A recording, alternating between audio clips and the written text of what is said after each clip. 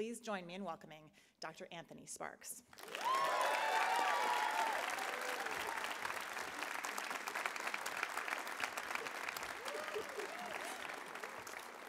Wow, I'm so emotional. I didn't expect that. Um, good morning, and congratulations to the mighty class of 2024. Uh, before I dive in, um, I need to let you know that I discovered performing in theater through the Black Church. And the first thing you must do in the Black Church when someone invites you to share their stage and speak at their pulpit is thank everybody you've ever met in your entire life which I'm happy to do. So thank you to Dean Emily Roxworthy. Thank you to Vice Dean Lori Ray Fisher, to my wife, Associate Dean Anita Dashiell Sparks, to my longtime supporter, Dr. Velina Hasu Houston, and thank you to the entire faculty, and especially to the graduates, parents, grandparents, and special friends who have gathered here in this moment. And another thing that we do in the Black Church is we talk to each other a lot. We uh, turn to our neighbors, as they say, and it's been a little stressful lately, so I'd love for us to loosen up a little by turning to our neighbor, I'm serious, and repeat after me. Say, neighbor, neighbor. Today, today, is a good day. A good day.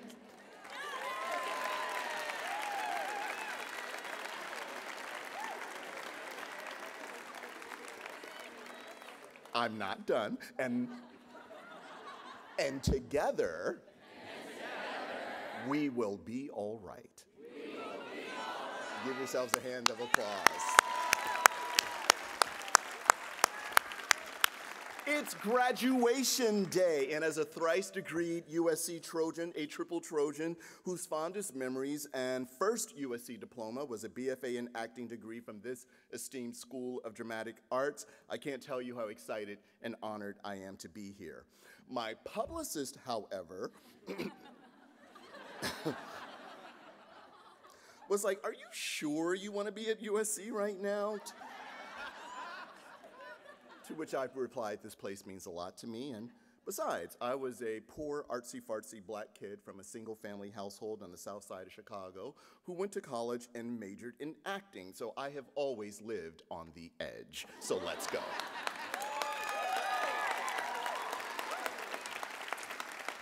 Graduates and Trojans, I have good news and I have bad news. This is the speech where I'm supposed to give you the keys to life, or at least the keys to launching a successful career. I'll do my best with that in a moment by sharing some of the ups and downs of my own journey thus far, what I call my seven takeaways. But before I do, I think I should acknowledge that it's clear from life around here from the last few weeks that nobody knows nothing and that some of the adults in your lives are clearly making some of this ish up as they go along and just hoping it all works out.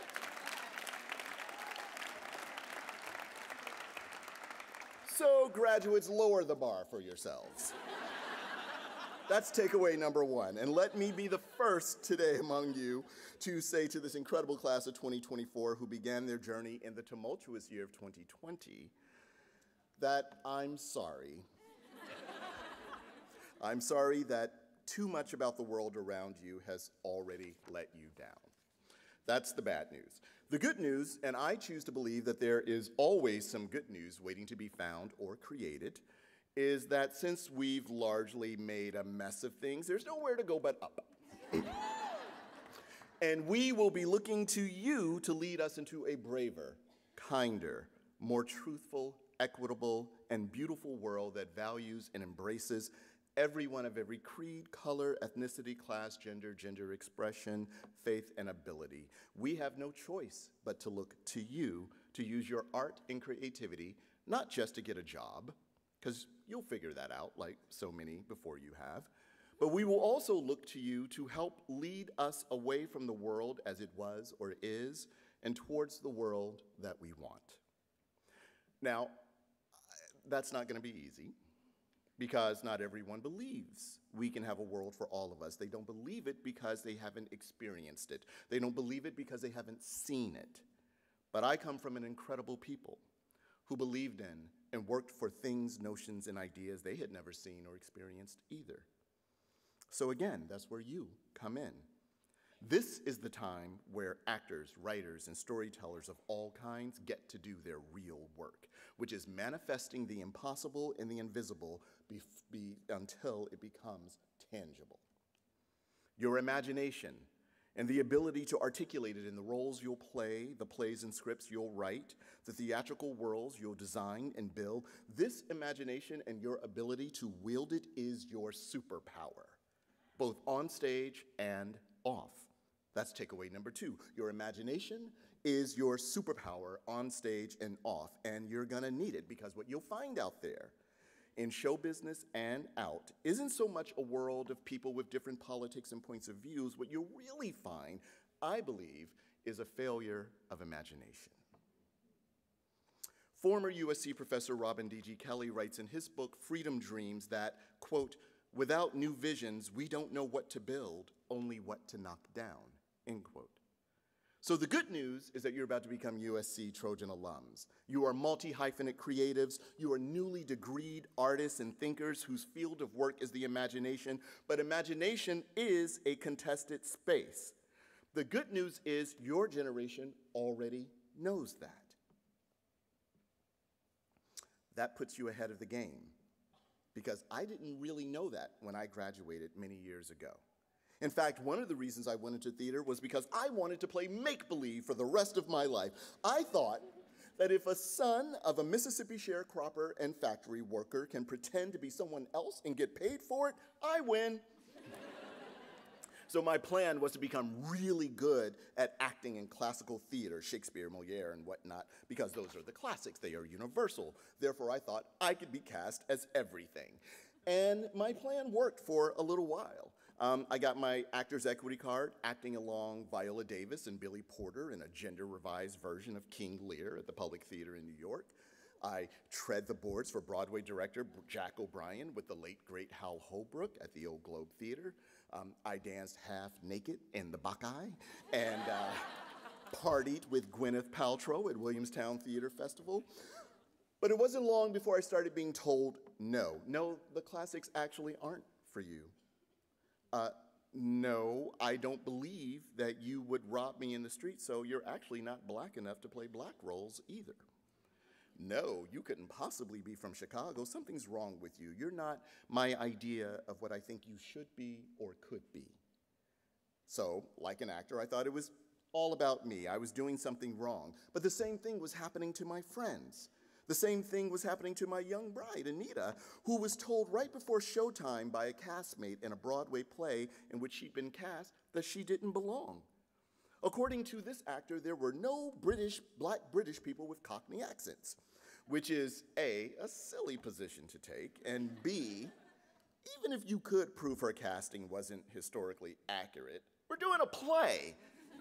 We all know this ain't real. Relax. My point is that to our great dismay, we began to be told over and over again that theater and creativity was not an expansion of the possibilities of the world in which we lived, but a reinforcer of the world as we found it. Now, that's not what I signed up for, and I know it isn't what you signed up for either. So, what do you do when your profession in the world says that there's no room for you? If you're me, you diversify, you evolve. Um, with the support of a few professors that are actually on this stage, I went back to school to earn my PhD and I began writing as a way to keep working, but also as an intervention.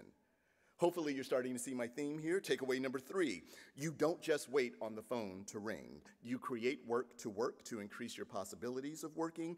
And a beautiful, powerful byproduct of doing that is that you maybe push the world in a direction that you want it to go.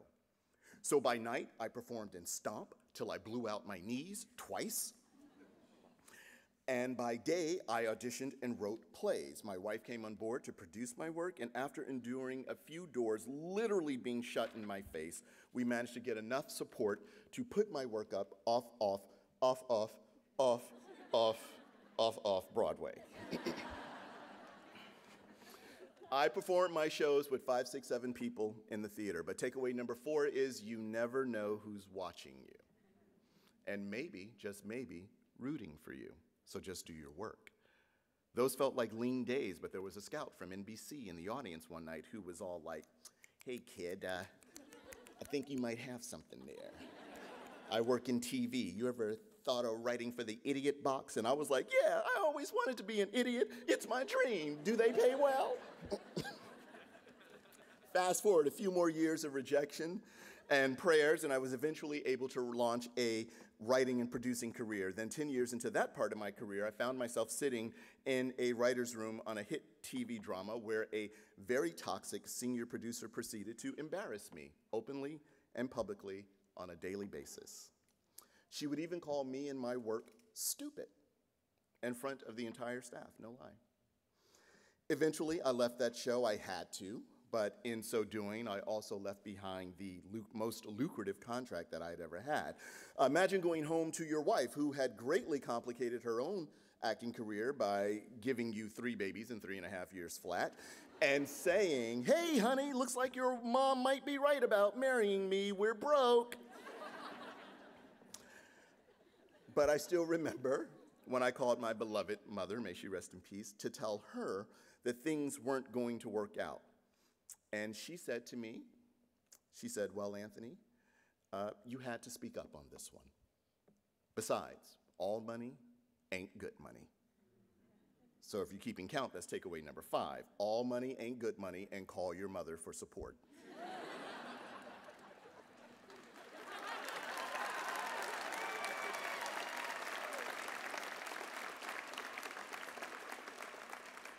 Now, I'm betting some of you know what it feels like to be belittled, dismissed, and called stupid. Perhaps the only thing worse uh, that feels worse than being called stupid is being called stupid and having to give a lot of money when you have three children to feed. So, what do you do when, not if, but when you find yourself with your back up against the wall? You mourn that hit that you took for a brief time, and you lean on your village, which incidentally are the people that are sitting right next to you. Please support each other. Allow your village to lift you up, and then you remember your superpower. You remember that you've been blessed with the gift of creativity and an elite education. You remember that you have an abundant imagination and that you can literally create something out of nothing. So I started to teach more, which made me a better artist. I got back to work. I sold my first drama pilot, and I eventually went to work for Oprah Winfrey and became the longtime head writer, producer, and showrunner for her network's flagship show, which helped elevate my career to a new level and winning awards and stuff like that. And then something funny happened.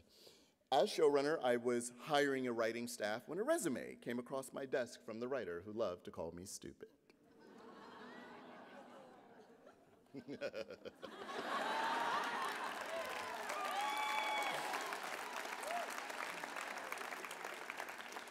now, you might think this is the part of the story where I tell you I was the bigger person. and that I hired this writer that embarrassed me. And if you think that you don't know me very well, no, I didn't hire her. My mother and Black Jesus didn't raise no fool. Which leads me to takeaway number six, which was first told to me by my dear brother, the actor producer Renty Brown. He said, Anthony, the road to success is crowded with assholes who are on their way back.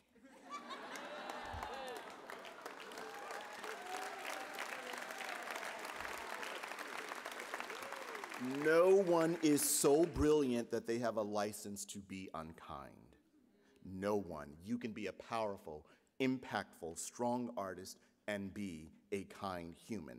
Anyone who tells you otherwise is an insecure liar from the pit of hell.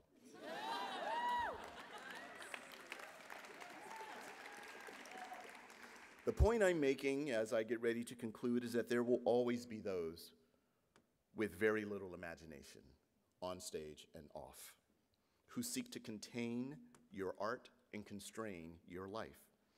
But knowing that is half the battle.